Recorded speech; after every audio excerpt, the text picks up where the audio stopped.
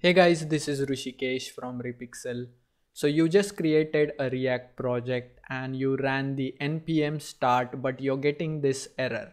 It says npm err code enoent which is also no such file or directory error. You're getting this error because you might be running the npm start in the wrong folder.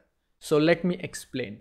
Here I have two folder First one is the main project folder and inside that I have the react app folder which in my case is my app and inside that I have all of the react files and folders.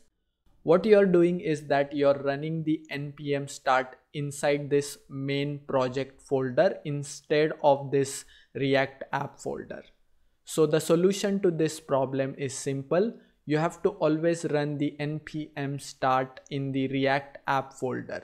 So open the terminal and type cd then type the name of the react app folder which in my case is my hyphen app and then hit enter. Then type npm start and then hit enter. It should start running the react app As you can see, the React app is running. We have solved the error. I hope you found this video helpful. If you are facing any issues, do let me know in the comment section below. I would love to help you out.